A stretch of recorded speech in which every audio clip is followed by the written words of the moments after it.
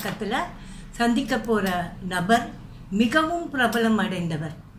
அடைந்து கொண்டிருக்கிறார். காவியத்தாயின் இளைய மகன்னு அவர் அப்பா ஒரு கவிதையில் பாடியிருக்கார். ஆனால் தமிழ்நாட்டையும் இந்தியாவை பொறுத்த மட்டும் காவியத்தாயின் தலைமகன் அவர். ஸோ இப்போ நான் யாரை சொல்கிறேன்னு உங்களுக்கு புரிஞ்சிருக்கோம். த கிரேட் கண்ணதாசனோட புதல்வர். காந்தி கண்ணதாசன் அவர்களை தான் இன்னைக்கு நம்ம இன்டர்வியூ பண்ண வந்திருக்கோம். நமஸ்காரம் சார். நமஸ்காரம். இந்த வீட்டில் தான் அப்பா வாழ்ந்தாங்க சார்? ஆயிரத்தி தொள்ளாயிரத்தி அறுபத்தி ரெண்டுல அப்பா வந்து முத முதல்ல இந்த வீடை வாங்குறாரு. அப்பா வாங்கினவர் வந்து டி. பாலசுப்ரமணியம்னு அந்த காலத்துல அப்பா கேரக்டரா நடிச்ச ஒரு நடிகை அப்பதான் வாங்குறாரு. ஆ. ஸோ வாங்கி அப்பா வாங்கின முதல் வீடும் இதுதான். ஸோ வாங்கி இதில் தான் அப்பா குடி வர்றாரு. இதுக்கு பிறகு வந்து கிட்டத்தட்ட ஒரு பத்து பன்னெண்டு வீடுகள் வாங்கியிருந்தாலும் இடங்கள் வாங்கியிருந்தாலும் அந்த வீடுகள் எல்லாம் வித்தாலும் கூட இந்த வீடு வந்து அப்பாவுக்கு ரொம்ப பிடிச்ச வீடு.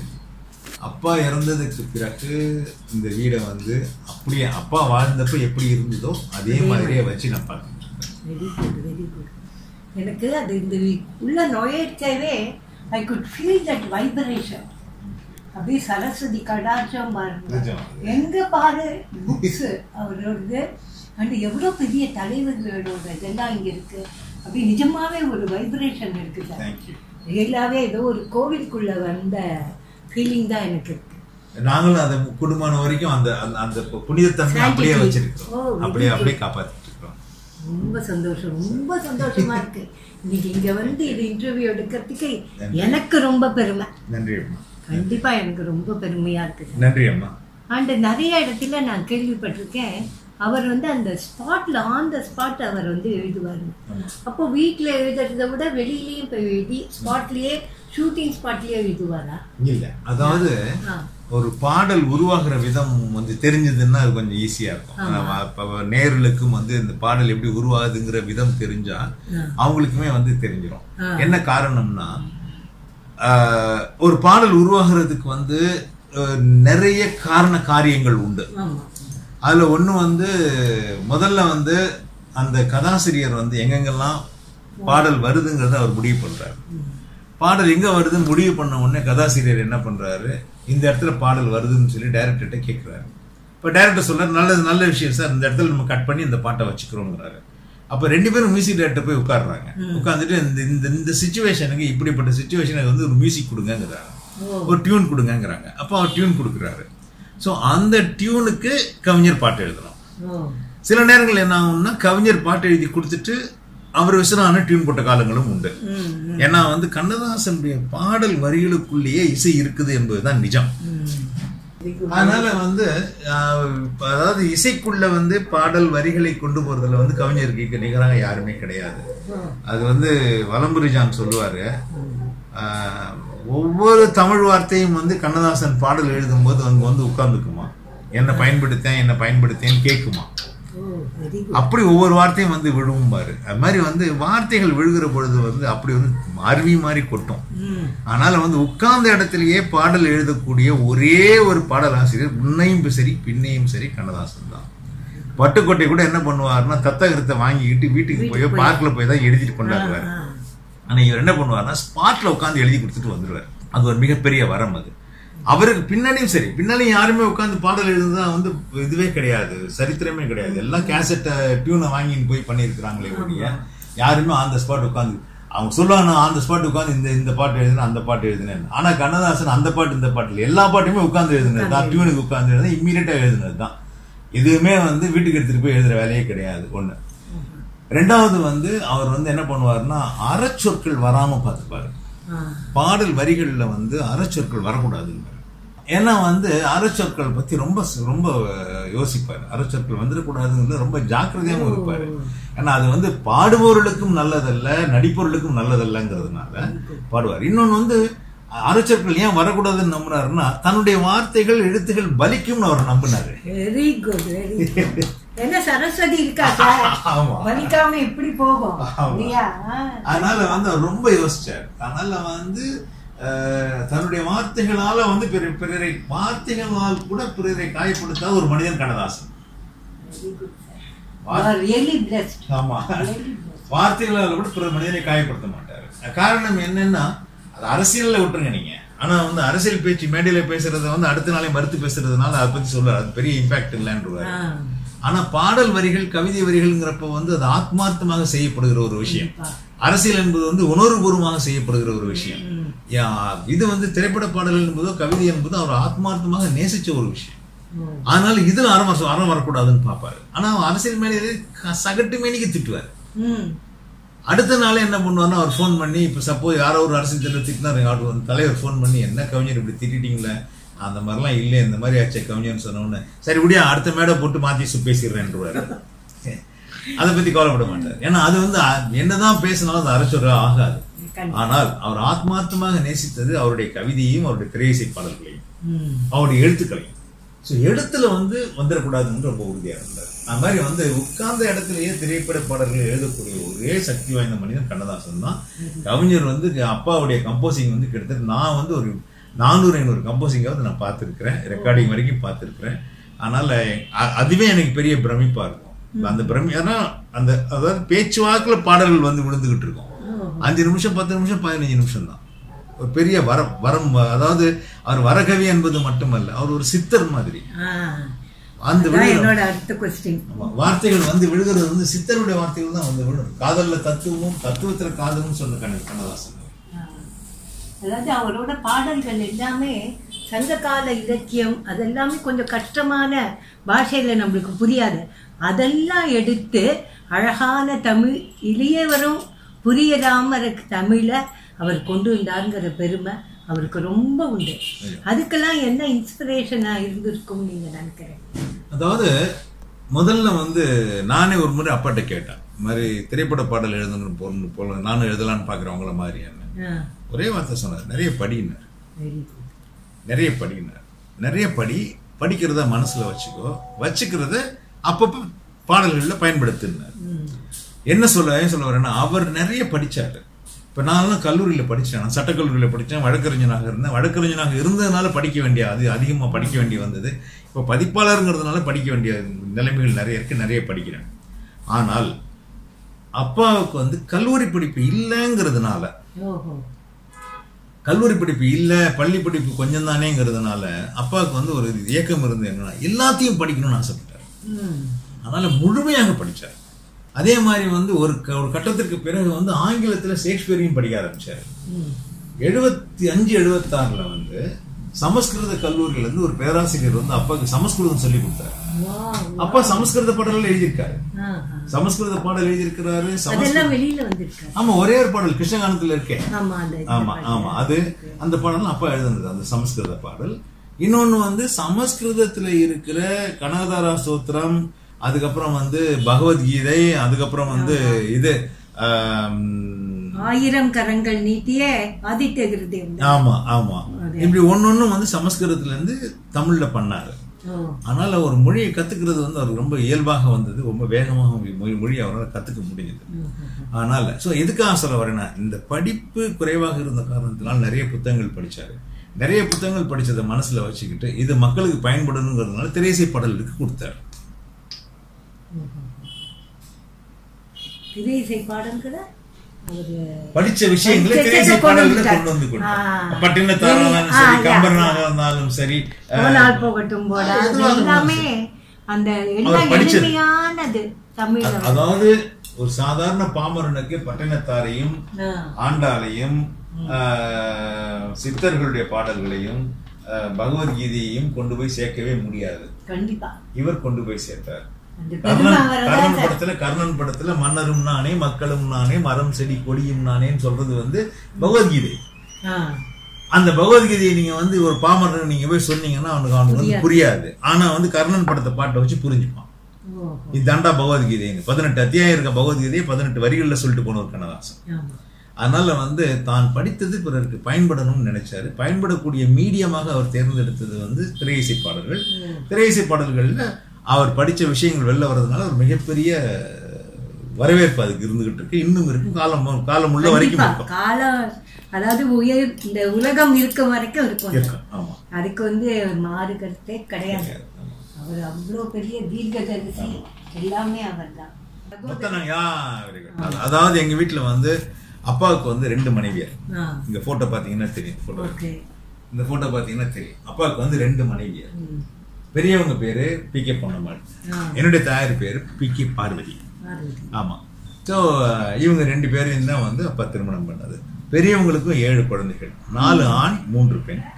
என்- எங்க அம்மாவுக்கும் ஐந்து ஆண் ரெண்டு பெண் குழந்தைகள். ஸோ அவர் வந்து என்ன பண்ணாரு? மொத்தம் அப்பாவுக்கு வந்து ஐந்து பெண் குழந்தைகள். ஐந்து பெண் குழந்தைகள் மூன்று ஆண் மகன்களுடைய திருமணத்தையும் முடிச்சிட்டாரு ஐம்பத்தஞ்சு வயசுக்குள்ள. ஐம்பத்தஞ்சு வயசுக்குள்ள எட்டு கல்யாணம் பண்ணிட்டாரு. ரெண்டு அதாவது என்னுடைய சகோதரிகள் அவ்வளவு பேருக்கு திருமணத்தை முடிச்சிட்டாரு. அதுக்கு பிறகு வந்து எனக்கு என் தம்பி அடுத்த தம்பி டாக்டருக்கு அதுக்கு அடுத்த தம்பி சுப்பு கண்மணி சுப்புன்னு பண்ணுறேன் ஸோ மொத்தம் பதினாலு குழந்தைகள்ல எட்டு குழந்தைகள் திருமணத்தையும் முடிச்சு வச்ச பெருமை ஐம்பத்தஞ்சு வயசுக்குள்ளேயேங்கிறது கண்ணதாசனுக்கு கண்டிப்பாக கண்டிப்பா சார். ஏன்னா நாங்களும் பதினாலு பேர். ஐயாவை நான் எங்க வீட்லயே பார்த்திருக்கேன். ரெண்டு மூணு முறைகள் நான் பார்த்திருக்கேன். அது ஏன்னு எனக்கு ஞாபகம் இல்லை. ஏன்னா வந்து நான் பார்த்தவர்கள்ல வந்து மறக்க முடியாத உருவங்கள் என்பது வந்து இவங்க ஐயா பத்தமூணு சுப்பு ஐயா அப்புறம் வந்து கவி உடுமலை நாராயண கவி ஐயா. ஏன்னா அவங்க எல்லாம் வரும்போது நாங்க கிராஸ் பண்ணி அவங்க வந்து சொல்லி அப்பாவிட்ட போய் சொல்லியிருக்கேன். ஏன்னா இப்ப சுப்பு வந்திருக்கேன்னு சொல்லுங்க பத்தமூணு சுப்பு வந்திருக்கேன்னு சொல்லுப்பாங்க பாரு. அவர் கவி நான் நாராயணகவி வந்திருக்கேன்னு சொல்லுங்க. நான் வாசல்ல உட்காருங்கன்றேன் அப்பா என்ன பண்ணுவாருன்னா வெளியில ஓடியாந்து கூப்பிடுவாரு. உட்கார வச்சுட்டு வெளியில. அப்படின்னு அப்பா ஓடியாரு வெளியில. ஐயோ ரொம்ப நேரம் உட்காந்துருக்கீங்க அப்பான்னாரு ரொம்ப நேரம் உட்காந்துருக்கீங்களா ஐயா? ரொம்ப நேரம் உட்காந்து இல்ல இல்ல அதெல்லாம் ஒண்ணும் இல்ல. வந்தான் கேட்டான் இப்பதான் சொன்னான். இல்ல அவனுக்கு தெரியாது சின்ன பையன். நீ உள்ள அவனுக்கு உள்ள அவன் உள்ள கூட்டு போயிடு. அந்த அளவுக்கு மரியாதை. எனக்கு வந்து அப்பா வாங்கி கொடுத்த சரித்திர நாவல் முதல் நாவல் வந்து பொன்னியின் செல்வன். ஸ்கூல் படிக்கும்போது. அதை படிச்சு முடிச்ச கையோட திலான மோனாமல் வாங்கி கொடுத்தாரு. அதனால அப்படிதான் எனக்கு கொத்தமங்க ஐயாவை தெரியும். அந்த பொக்கிஷங்கிற ஆர்டிக்கல்ல எங்க அப்பாவை உங்க அப்பா புகழ்ந்திருக்கார். அந்த அவரோட அந்த இதை சொல்றதுக்காக தான் நான் கண்டிப்பா. இல்ல, இல்ல, அவருக்கு புகழற ஹேபிட் இருக்கு. புகழ்ற புகழ்றது மட்டுமல்ல அவர் வந்து அந்த மூத்த கவிஞர் மீது அவர் வைத்திருந்த மரியாதை ரொம்ப பெரிய மரியாதை. ரொம்ப பெரிய மரியாதை அவங்க மேல வச்சிருந்தது. அதாவது வந்து அதான் சொல்றேனே அவங்க வந்திருக்காங்கன்னு சொன்னா இவர் ஓடியாரு வெளியில உள்ள கூப்பிடுன்னு சொல்ல மாட்டாரு. நாராயணகிரி வந்திருக்காரு கொத்தமங்கல் ஐயா வந்திருக்காங்க அப்புறம் நான் சொல்றேன். கம்பதாசன் ஐயா வந்திருக்காங்க ஆஹ், இவங்கெல்லாம் பாரதிதாசன் வந்திருக்காரு போல எனக்கு தெரியாது. எங்க அம்மா தான் சொல்லியிருக்காங்க பாரதிதாசன் வீட்டுக்கு வந்திருக்காருன்னு. ஆனா இவங்க எல்லாம் வந்திருக்காங்கன்னு சொன்னாலேயே அப்ப வெளில ஓடியாந்துருவாரு. ஓ சரி கூப்பிடு. உள்ள வர சொல்லணும்னு சொல்ல மாட்டாரு. அவர் வெளில வந்து கூப்பிட்டு ஐயா என்னைய வெளில உட்காந்துருக்கீங்க வாங்க ஏன் உள்ள கூப்பிட்டு போவார் மனப்பக்குவம் இருந்தது ஒரு ஒத்துமை. ஒரு ஜெலசியோ ஒரு இதோ இல்லாத இல்ல. காலம் அது. ஆமா, அப்படி ஒரு இருந்தது. வயதுக்கு ஒரு மரியாதை இருந்தது திறமைக்கு ஒரு மரியாதை இருந்த காலங்கள். அந்த மாதிரி ஒரு பெரிய காலங்கள் பொன்னான காலங்கள். எம்எஸ்வி ஐயா கண்ணதாசன் ஐயா அவங்களோட நட்பை பத்தி நீங்க எப்படி எப்படி அது வந்தது சாத்தியம்? அது ஏதாவது உங்கள்கிட்ட பகிர்ந்துருக்காரு அப்பா? நிறைய. பகிர்ந்துருக்கிறார். அப்பா மட்டும் இல்ல விஸ்வநாதனும் நிறைய பகிர்ந்துருக்கிறார். சும்மா சொல்லக்கூடாது. மெல்லிசை மன்னரும் எங்களெல்லாம் பார்த்தா வந்து மனசு திறந்து பேச ஆரம்பிச்சிருவாரு. பல நேரங்களில் மனம் உடைஞ்சும் பேசுவாரு. அப்படி ஒரு அனுபவங்கள் உண்டு. அவர் விஸ்வநாதனை பொறுத்த வரைக்கும் வந்து அவருமே வந்து ரொம்ப இது பண்ணுவார். இமோஷனல் ஆயிடுவார். எங்களெல்லாம் பார்த்தாருன்னா பேசினாருன்னா இமோஷனல் ஆயிடுவார். அஹ் முதல்ல வந்து நீங்க ஒண்ணு தெரிஞ்சுக்கணும். ராத்திரியில தான் எல்லாருமே அப்பாவை கூப்பிடுவாங்க. ஏன்னா அப்பதான் அப்பா ஃப்ரீயா இருப்பாங்க. ஸோ அப்படி ஃப்ரீயா இருக்கிற நேரத்துல தான் அப்பா வந்து எல்லாத்தையும் பேசவும் முடியும். அப்படி இருக்கும்போது வந்து அப்பா அப்பா யார்கிட்ட பேசுறாருங்கிறத வந்து அப்பா பேசுற அட்ரஸ் பண்றதை வச்சு நாங்க கண்டுபிடிச்சிருவோம். ஓ. ஆமா ஆமா அவர் எம்ஜிஆர்ட்ட பேசுறதா இருந்தா என்ன சாமி? சொல்லுங்க சாமி. பாருன்னா எம்ஜிஆர்ட்ட பேசிட்டு இருக்காருன்னு அர்த்தம். அண்ணன் நான் முத்து அப்படின்னாருன்னா அவருடைய அண்ணன் ஏலிஸ்ட பேசிட்டு இருக்காருன்னு அர்த்தம். அப்படி ஆஹ், இன்னொன்னு வந்து என்ன சொன்னாருன்னா என்னையா உன் ஃபோன் தான் எதிர்பார்த்துட்டு இருந்தேன் அப்படின்னாருன்னா கலைஞர் கருணாநிதி. என்னடா இந்த நேரத்துல ஃபோன் பண்ண? அப்படின்னா விஸ்வநாதன் ஸோ அந்த மாதிரி அவர் அப்பா யார்கிட்ட பேசுறாருங்கிறத வந்து அந்த டோன் வச்சு அட்ரஸ் பண்றதை வச்சே கண்டுபிடிச்சிருவோம் அந்த அளவுக்கு. விஸ்வநாதன் அண்ணா வந்து தினம் பேசுவாங்க அப்பாக்கு. ஆ. தினம் பேசுவாங்க அப்பாவும் தினம் பேசுவாங்க. ரெண்டு பேருக்கும் வந்து ஏதாவது வெளியூர் வெளியூர் போயிட்டு வந்தா கூட வெளியூர்ல இருந்து ட்ரங்கால் போட்டாது பேசிடுவார் ஓ. அப்பா ட்ரங்கால் போட்டாது பேசிடுவாரு அவர் வீட்டுக்கு. என்னடா என்ன பண்ணிட்டு இருக்க என்ன செஞ்சிட்டு இருக்க நான் ஊர்ல இல்லைன்னு உடனே நீ பாட்டுக்கு அவன் அவன் அவனுக்கு மியூசிக் போட்டுட்டு இருக்காத வெயிட் பண்ணி நான் வந்துடுவேன் பாரு. கரெக்டாக பாருறேன் அப்படி ஒரு பெரிய ஒத்துமை. ரொம்ப divine celestial very big celestial relationship அது. ஏன்னா ரெண்டு பேருமே வந்து காசுக்கு பெருசா ஆசைப்பட்டு டியூன் போட்டது இல்ல காசுக்கு பெருசா ஆசைப்பட்டு பாட்டு எழுதுனது இல்ல அதுக்கப்புறம் சம்பளம் வாங்கிக்குவாங்க. ஆனா அந்த உட்கார்ற நேரத்துல வந்து ஒரு ஒரு என்ன சொல்றது? அது ஒரு சூரிய பிரகாசத்தோட தான் அவங்க அவங்க உட்கார்ந்துருந்தாங்க அவங்களுக்கு வந்து தொழில் தான். வேடிக்கை சொல்ற விசனான் எங்களுக்கு உழைக்க தெரிஞ்சது பொழைக்க தெரியல. வேடிக்கையாக. அது மாதிரி. ரெண்டு பேருக்கு அந்த ஒரு ரிலேஷன்ஷிப் ரொம்ப பெரிய ரிலேஷன்ஷிப் அதாவது அவளுக்கு இந்த ரிலேஷன் இந்த இது மூலம் தான் வந்ததா? இல்ல முன்னாடியே வா அதாவது விஸ்வநாதன் மியூசிக் டைரக்டரா அசிஸ்டன்ட் மியூசிக் டைரக்டரா சி ஆர் சுப்பாராமன் கிட்ட இருந்து உள்ள வராரு. கண்ணதாசன் வந்து இந்த பக்கத்துல இருந்து வராரு ஆமா ஆமா. சினிமாங்கிறப்ப வந்து விஸ்வநாதனும் ராமமூர்த்தியும் இணைஞ்சு வருகிற பொழுது கண்ணதாசன் வராரு சீன்ல பட்டுக்கோட்டை வராரு. அப்ப இசையமைப்பாளர் அதுன்னு ஒரு அறிமுகம் வருது. அதற்கு பிறகு வந்து இவர் அவருடைய திறமையும் அவர் இவருடைய திறமையும் மதிக்க ஆரம்பிச்சதுக்கு பிறகு எலிவேஷன் வந்தது ஓ அதனால வந்து ரெண்டு பேருக்கு உள்ள திறமையை வந்து உங்களுடைய திறமையை நான் பாராட்டணும் என்னுடைய திறமையை நீங்க பாராட்டினாதான் நம்ம ரெண்டு பேருக்குள்ள வந்து திறமையை வந்து மதிக்கப்படுகிறது. திறமை மதிக்கப்படுகிற இடத்துல என்ன ஆகும்னா நம்ம என் திறமை மூலமாக வர்றது உங்க திறமை மூலமாக வர்றது மிகப்பெரிய விஷயங்களாக அமையும். அதனால வந்து ரெண்டு பேருக்குமே அந்த ஒரு பெரிய மியூச்சுவல் அண்டர்ஸ்டாண்டிங் இருந்தது சில படத்துல அவரே நடிச்சிருக்கார். இல்லையா அப்பாவே? ஆமா பாடல் காட்சிக்கும் நடிச்சிருக்கார். படத்திலேயே வந்து அந்த மாதிரி எ- ஏதாவது ஒன்று ரெண்டு உங்களுக்கு. நீங்கள் போய் பார்த்துருக்கீங்களா? ஷூட்டிங் போதெல்லாம். ஆக்சுவலாக வந்து திரைப்படத்தில் ஹீரோவாக நடித்த இந்தியாவிலேயும் சரி உலகம் பூராவும் சரி திரைப்படத்தில் ஹீரோவாக நடித்த ஒரே கவிஞன் கண்ணதாசன். திரைப்பட திரைப்படங்களில் வந்து பாட்டு பாடுற மாதிரி காட்சியெல்லாம் வந்து கண்ணதாசன் கவிஞர் அவர்கள் பண்ணியிருக்காங்க. திரைப்படங்களில் பாடல் காட்சிகள்லாம் கவிஞர் அவர்கள் பாடி நடிச்சிருக்கிறாங்க. ஆனா ஹீரோவா நடிச்சது கருப்பணம் தான் எல்லா ஷூட்டிங்கும் நாங்க பார்த்தது இல்ல சா- இந்த பாடல் காட்சிகள் ஷூட்டிங் நான் பார்த்தது இல்ல அதுல வந்து ஒண்ணு வந்து சூரியகாந்தி பார்த்திருக்கேன். அது இங்க எஸ்ஜிஎஸ் கல்யாண மண்டபத்தில் ஷூட் பண்ணாங்க. அது பார்த்திருக்கேன். மத்ததெல்லாம் நான் பார்க்கல. ஆனா கருப்பு பணம் ஷூட்டிங் கிட்டத்தட்ட ஒரு பத்து வாட்டி பதினஞ்சு வாட்டி அது பார்த்திருப்பேன். கருப்பு பணத்துல அப்பாவுடைய மகனாக பாலாஜி வருவார் நடிகர். பாலாஜியுடைய பேர் அந்த படத்துல காந்தி.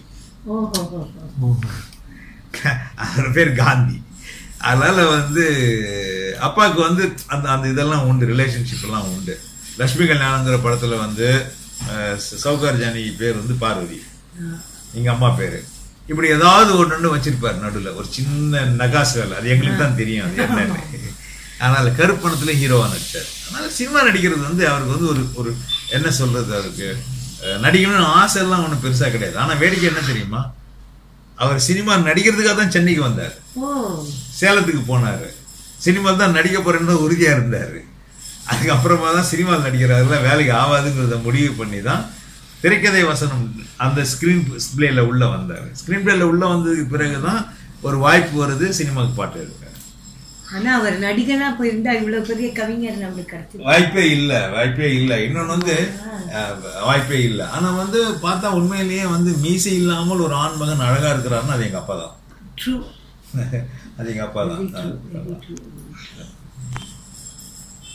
அவர் வந்து உங்க வீட்ல வந்து உட்காந்து ஏதாவது பாட்டை பத்தி டிஸ்கஸ் பண்ணிருக்காரு ஏதாவது ஒண்ணு? நிறைய.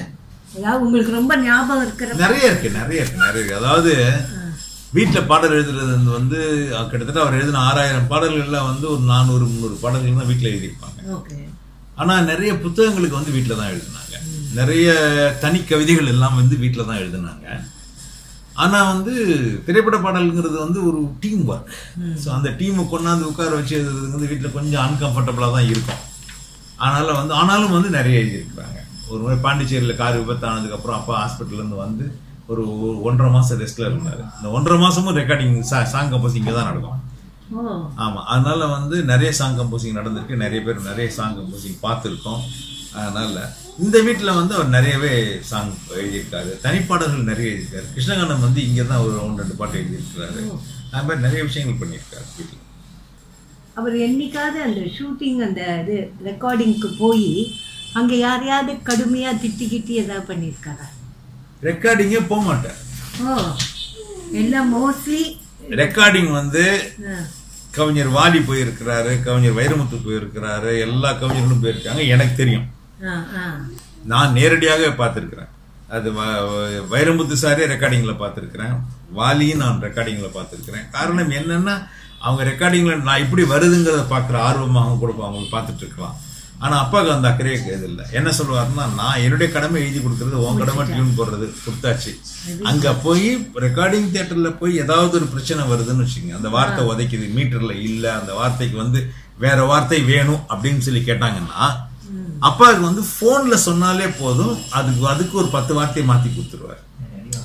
ஏன்னா அவருக்கு வந்து அந்த வார்த்தைகள் கொடுக்கறதோ வரிகள் கொடுக்கறதோ பெரிய விஷயம் கிடையாது. அதே சமயத்துல மத்த கவிஞர்களுக்கு வந்து சில பாடல்கள் எழுதிட்டு இந்த பாடல் உச்சரிப்பு சரியா வருதா? அதே சமயத்துல வேற ஏதாவது வார்த்தை கேட்டா மாத்தி கொடுக்கணுமேங்கிறதுக்காக அவங்க அங்க போயிடுவாங்க. ஆனா அப்பாவை பொறுத்த வரைக்கும் அப்படி கிடையாது. தொலைபேசியிலேயே விடு- எல்லாரையும் கண்ட்ரோல் பண்றாரு. தொலைபேசியிலே வார்த்தைகளை மாத்தி கொடுக்குறாரு. அதனால அப்பா ரெக்கார்டிங் போனது என்பது வந்து மிக குறைவு. ஒரு முறை பாலமுரளி கிருஷ்ணா வந்து அப்பா உடம்பு முடியாத போது அவரை பார்க்க வந்தாராம். அப்போ அப்பா வந்து நூல்வேலி காட்டு அந்த பாட்டு மௌனத்தில் விளையாடும். அந்த பாட்டை கேட்டுட்டு இருந்தாராம் கேட்டுருந்த போது எனக்கு இந்த பாட்டு ரொம்ப பிடிச்ச பாட்டு அப்படின்னு அவர் சொன்னதா இவர் முரளி சார் சொல்லியிருக்கார். நான் மறக்க முடியாத இன்னொரு பாட்டு இருக்கு. சாம ராகத்துல ஒரு பாட்டை நீங்க நூல்வேலிங்கிற படத்துல போட்டு ஞாபகம் இருக்கா? இப்படி பாருங்க. மௌனத்தில் விளையாடும் மனசாட்சி. ஆயிரம் நினைவாயி நினை கனவாகி கண்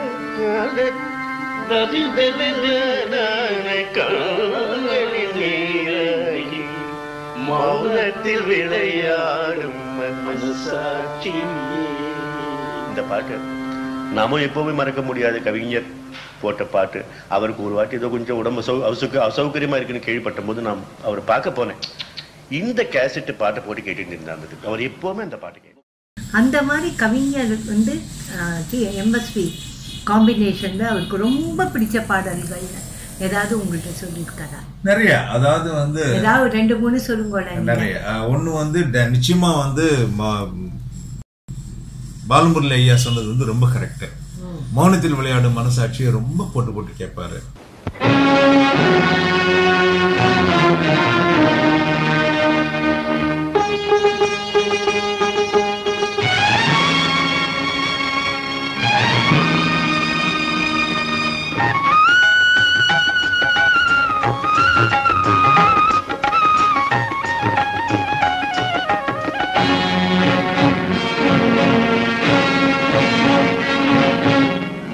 மௌனத்தில் விளையாடும் மனசாட்சியே.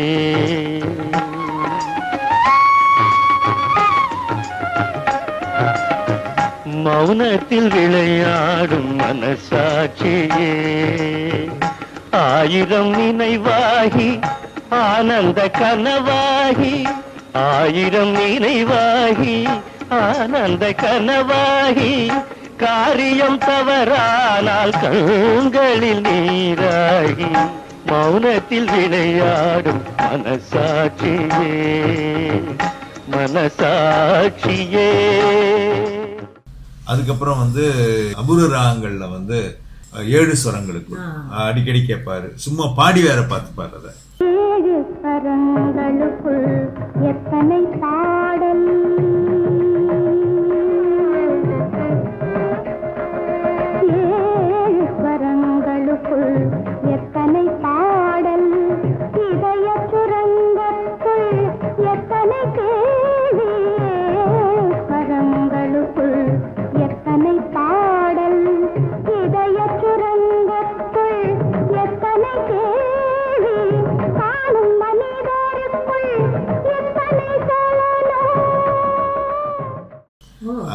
பாடுறது பாதை வகுத்த பின்பு பயந்த நல்லாவும் பயணம் நடத்தி விடும் அறிந்திடும் பாவம்னு கொஞ்சம் அடிக்கடி பாடுற வரிகள் அது.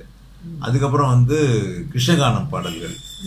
அதுக்கப்புறம் என்ன பண்ணுவார்னா நிறைய அவர் எழுதின பாடல்கள் கேட்கறத விட சில நேரங்கள் மலையாள பாடல்கள் கேட்பாரு. சில நேரங்கள் வந்து ஹிந்தி பாட்டு கேட்கவே மாட்டாரு. ஒண்ணுமே கிடையாதும்பார். அதனால மலையாள பாட்டு வயலார் பாடல்கள் கேட்பாரு. அஹ், விஸ்வநாதன் மியூசிக்ல வந்து இன்னும் சொல்ல போனா வந்து அப்பாவுக்கு ரொம்ப பிடிச்சது வந்து கர்ண் பட பாடல்கள் இதெல்லாம் கேட்டுட்டு இருப்பாரு அவருக்கு வந்து இந்த ரெக்கார்ட் போட்டு கேட்கறது ரொம்ப பிடிக்கும். என்னன்னா அந்த ரெக்கார்டை அவரே எடுத்து வைக்கணுங்கிறதுனால நாலு வாட்டி வைப்பாரு அஞ்சாவது வாட்டி வேணாம்னு விட்டுருவாரு. அப்புறமா பெல் அடிச்சு பசங்களை வர சொல்லி ரெக்கார்டை மாத்துறதுக்காகவே எங்க யாரையாவது ஒருத்தரை கூப்பிடுவாரு. ரெக்கார்டு எடுத்துட்டு வேற ரெக்கார்ட் போடணும். வரிசையை அடுக்கி கொடுத்துருவாரு என்ன ரெக்கார்டு கொடுத்துருவாரு. அதுக்கப்புறம் ஆமா. அதுக்கப்புறம் வந்து அதுக்கப்புறம் ஆட்டோமேட்டிக் ரெக்கார்ட் பிளேயர் வந்தது. அந்த ரெக்கார்ட் பிளேயர் வந்ததுக்கப்புறம் அவரே கேட்டுட்டு இருப்பாரு. எப்படியும் ஒரு ஒரு மணி நேரம் ஒன்றரை மணி நேரம் பாட்டு கேட்பாரு. அப்புறம் அவரே பாடுவார். பாடு கூடவே பாடுவார் அவரே பாடுவார். அவருக்கு வந்து பிடிக்கும். அவர் பாடி ஏதாவது ரெக்கார்ட் பண்ணி வச்சிருக்கீங்க நிறைய இருக்கு. ஐயோ குடும்பம் நிறைய இருக்கு. பார்த்தேன் சிரித்தேன் பாடியிருக்காரு.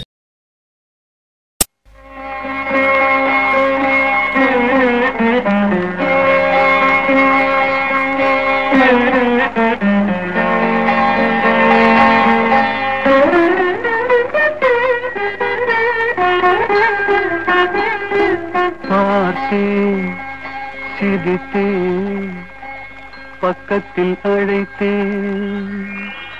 அன்று உன்னைத்தேன் என நான் நினைத்தேன். அந்த மலை தேன் இதுவே பார்த்தேன் சிரித்தேன் பக்கத்தில் அழைத்தேன். உன்னைத்தேன் என நான் நினைத்தேன். அவர் அவர் பாடின நிறைய பாடல்கள் இருக்கு. தரலாம் அது இருக்கே. அவர் ஆடியோல அவரே பாடியிருக்காரு. மீட்டிங்ல very பேசும்போது. நான் தர்றேன் உங்களுக்கு. இருக்கு தர்றேன். நீங்க கர்ணன் பாட்டை பத்தி சொன்னீங்க. அதுல அந்த உள்ளத்தில் நல்ல உள்ளம்ல அந்த கட்சி எப்படி சார் அவருக்கு வந்தது? கண்ணனே கர்ணனே கண்ணன் வஞ்சகன் கண்ணனடா அப்படின்னு தானே சொல்லிக்கிறார். ஒரு கடவுளை அது வந்து கிரேட் சார் அந்த பாட்டு. அதை பத்தி ஏதாவது உங்களுக்கு தெரியுமா? ரொம்ப சிம்பிள் அதாவது வந்து நீங்க கண்ணதாசனை முழுமையாக புரிஞ்சிருந்ததுன்னா உங்களுக்கு அந்த வரிகள் ஈஸியா பிடிக்கும் என்ன காரணம்னா காதல் பாடல் வரும்போது காதலனாக கண்ணதாசன் எழுதுவார். காதலியாக கண்ணதாசன் எழுதுவார். தத்துவ பாடல் வரும்போது பாதிக்கப்பட்டவனாக கண்ணதாசன் எழுதுவார். இந்த பாட்டு வரும்போது கர்ணனுடைய பார்வையில இருந்து அந்த பாட்டை நீங்க பார்க்கணும். கண்ணனுடைய பார்வையில இருந்து பார்க்க முடியாது. கர்ணனுடைய பார்வையில இருந்து பார்க்கணும். மறைஞ்சிருந்து தாக்குனியே அப்படிங்கிறது தான். அது கர்ணனுடைய பார்வையில வந்து கர்ணன் வந்து சொல்றான். அதாவது நீ வஞ்சகங்கிறத கர்ணன் சொல்றாங்கிறத வந்து கண்ணன் ஒத்துக்கிறான். சோ இந்த டயலாக வந்து கர்ணன் சொல்ல வேண்டிய டயலாக கண்ணன் மூலமாக சொல்ல வச்சதுதான் கண்ணதாசனுடைய தமிழ் திறமை. அதனால அது வந்து உண்மையிலே ஒரு பெரிய gift தான். கவிஞருடைய மிகப்பெரிய. கண்டிப்பா கண்டிப்பா. அதுல இருந்து ஒரு அந்த நேரத்துல அப்பெல்லாம் வந்து ஐ மீன் அந்த இலக்கியம் அதெல்லாம் நல்லா இது பண்ணிட்டு இருக்கிற நேரத்துல அந்த பாட்டு கிரேட் சாங் சார். ஆனா அந்த பாட்டுல ஏதாவது உங்களுக்கு அது இந்த இடத்துக்கு போடலாம் போடக்கூடாதுங்கிற மாதிரி ஏதாவது இருக்கா சார் அதாவது முதல்ல அந்த படம் வெளிவந்தப்ப அதை முடிவு பண்ணுகிற வயசு கிடையாது. அதை முடிவு பண்ணுகிற வயசு வருகிற பொழுது அதை முடிவு பண்ணுறதுக்கான தகுதி எனக்கு கிடையாது. அதெல்லாம் ஒண்ணும் கிடையாது அது மாதிரி வந்து கவிஞரை பற்றி நிறைய தெரியும். அது நிறைய தவறான தகவல்கள். இப்ப பாத்தீங்கன்னா இப்ப நானே ஒரு தக- தவறான தகவல் சொன்னேன். என்ன சொன்னேன்னா கவிஞர் ஒருத்தர் தான் கண்ணதாஸ் கவிஞர் கண்ணதாசன் ஒருத்தர் தான் திரை திரை- திரைப்படத்துல கவி ஹீரோவா நடிச்ச கவிஞர்னு. உண்மையா என்னன்னா நீங்க சொன்னபடி உங்க அப்பா கொத்தமங்கலம் சுப்பு நடிச்ச மிஸ் மாலினி படம் தான் வந்து முதல் முதல்ல கவிஞர் ஹீரோவா நடிச்ச படம். அதனால வந்து இது ஒரு பிழை. இது வந்து ஒரு பிழை. இப்ப நீங்க இருக்கும்போது நான் கரெக்ட் பண்ணிக்கிட்டேன். ஆனா இந்த மாதிரி நிறைய பிழைகள் வந்து கவிஞர் மேல நிறைய சுத்துது. அதாவது வந்து இந்த எல்லோரும் கொண்டாடுவோம் பாட்டு ஓம் ஓம்னு வருது. அது ஓம் ஓம்னு நினைச்சு தான் எழுதினாரா? நிச்சயமா கிடையாது. அதாவது அந்த இடத்துல எழுதுகிற பொழுது கண்ண கண்ணதாசன் பாடல்கள்ல இருந்து அவ்வளவு அர்த்தங்களை பிற மனிதர்கள் எடுத்துக்கொள்ள முடியும் என்பதுதான் அந்த பாடலுடைய திறமையை ஒழிய அது வந்து ஓம் ஓம்ங்கிறதுக்காக எழுதல. அதே மாதிரி வந்து சொன்னது நீதானா? விஸ்வநாதனை பார்த்து கேட்டாரு சொன்னது நீதானா? அந்த மாதிரி எல்லாம் உண உணர்ச்சி வசப்பட்டா கூட வந்து அப்பாவுடைய பாடல்கள் வந்து அதற்கு பின்னாடி தான் வரும். உணர்ச்சி வசப்பட்டு அவர் பாடல்கள் வந்து சொல்ல மாட்டார். காரணம் அவருக்கு தெரியும் உணர்ச்சி வசப்படுகிற பொழுது வார்த்தைகள்ல வந்து பிழைகள் வரலாம். ஆனால் சோ விஸ்வநாதனை பொறுத்த வரைக்கும் வந்து அப்பா அவர் வந்து நிறைய விஷயங்கள் நிறைய விஷயங்கள் இரு- இருக்கு நிறைய விஷயங்கள் சொல்லலாம் விஸ்வநாதன் பத்தியும் அப்பா பத்தியும். அவ்வளவு விஷயங்கள் இருக்குது அதுல. இது இந்த மாதிரி நிறைய பிழைகள் வந்து வரும். அது காரணம் என்னன்னா உங்களுக்கே தெரியும். அதாவது வந்து திருவள்ளுவர் வந்து என்ன சொல்லுவாங்க? அவர் வந்து கூப்பிட்டாரு. அவர் மனைவி வாசுகியை கூப்பிட்டாரு. வாசுகி வந்து கிணத்துல இருந்து இறைச்சிட்டு இருந்தாங்க. அந்த அந்த குடத்தோட தண்ணி அப்படியே நின்னு போச்சு நடுவுல அப்படின்னு சொல்லி சொல்லுவாங்க. இது வந்து ஒரு லெஜெண்டுக்கான ஒரு இலக்கணம் அது. அது திருவள்ளுவரையும் பார்த்தது கிடையாது. வாசியும் பார்த்தது கிடையாது. ரெண்டு பேர் காலத்துல கிணறு இருந்துதான்னு தெரியாது.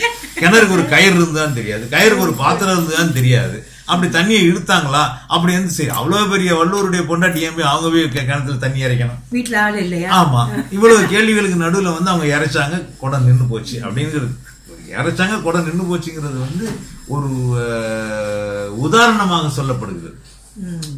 அதாவது வந்து கற்புக்கரசிகள் வந்து சொல்றது பலிக்குங்கிறத ஒரு உதாரணமாகவும் கற்புக்கரசிகள் தெய்வத்துக்கு நிகரானவர்கள்ங்கிறதையும் எகெயின்ஸ்ட் கிராவிட்டி அது நிக்குதுன்னு சொல்லி சொன்னா அந்த அம்மாவுடைய கற்பினுடைய மிகப்பெரிய சிறப்பு. அப்படிப்பட்ட ஒருத்தன் தான் வந்து கற்பை பத்தி பாட முடியும். கற்பு பத்தி ஒரு அத்தியாயமே கற்புடைமை பத்தி ஒரு அத்தியாயமே திரு திருவள்ளுவர் கொடுத்திருக்கிறாருன்னா இது ஒரு காரணமாக ஒரு காரண பெயராக இந்த கதை வருது. அந்த மாதிரி இவ்வளவு நல்ல விஷயங்கள் கண்ணதாசன் சொல்லுகிற பொழுது கண்ணதாசனை பற்றி இது அவர் ஒரு லெஜெண்ட் வள்ளுவர் ஒரு கட்டத்தில் ஒரு லெஜெண்டு அதே மாதிரி என்ன சொன்னாங்க கம்பனுடைய கம்பன் வீட்டு கட்டுத்தறியும் கைபாடும் நாங்க யாருக்கு தெரியும்? அது ஒரு அடைமொழி. அந்த மாதிரி இது ஒரு அடைமொழி தான். கண்ணதாசன் சம்பந்தப்பட்ட விஷயங்கள்ல வந்து இந்த மாதிரி வருகிற விஷயங்கள் எல்லாமே ஒரு அடைமொழிகள் தான். ஏன்னா நிறைய விஷயங்கள் வந்து பஞ்சவராஜனம் சொல்லியிருக்காரு. ராமகண்ணப்பன் சொல்லியிருக்காரு. அப்பா கூட இருந்தவங்க சொல்லியிருக்காரு. அப்பாவே சொல்லியிருக்காரு. நான் அப்பா கூட பார்த்தேன். ஏன் நான் இப்போ என்னுடைய சகோதரன் அண்ணாதிரி கண்ணதாசன் இவங்கெல்லாம் நிறைய ஷேர் பண்ணியிருக்கோம். விஸ்வநாதன் சொல்லியிருக்காரு? இதுதான் நிஜம். மற்றது எல்லாமே தெரியும். அதாவது வந்து கோனார் நோட்ஸ் மாதிரி திரைப்பட பாடல்களுக்கு நோட்ஸ் போட்டுட்டு இருக்காங்க அவ்வளவுதான் அதனால அது ஒண்ணும் தப்பு இல்லைங்கிறேன். ஏன்னா வந்து ஏன் கண்ணதாசன் எழுதும்போது ஓம்னு நினைச்சு அவர் எழுதல. ஆனால் அந்த ஒரு ஓம் இருக்குதுங்கிறத ஒருத்தன் பாருங்க. கண்டுபிடிச்சா ஓகே. அது உள்ள ஒரு ஓம் இருக்குதுங்கிறத ஒருத்தன் கண்டுபிடிச்சான் பாருங்க நானு நான் அந்த பாட்டை காலேஜ்ல பாடியே நான் வந்து பரிசு வாங்கியிருக்கிறேன். வாங்கியிருக்கேன் பரிசு வாங்கியிருக்கிறேன். முதல் பரிசே வாங்கியிருக்கிறேன் அந்த பாட்டை பாடி. ஆனா பாடும்போது கூட தெரியல அதுல ஒரு ஓம் இருக்குதுன்னு. அதனால வந்து கண்ணதாசன் பாட்டை நீங்க பகுப்பாய்ந்து பரி பிரித்து ஆய்ந்தீங்கன்னா அவ்வளவு விஷயங்கள் கிடைக்குதுங்கிறத ஒரு மனிதன் எங்கேயோ எஸ்டாப்ளிஷ் பண்ணியிருக்காரு.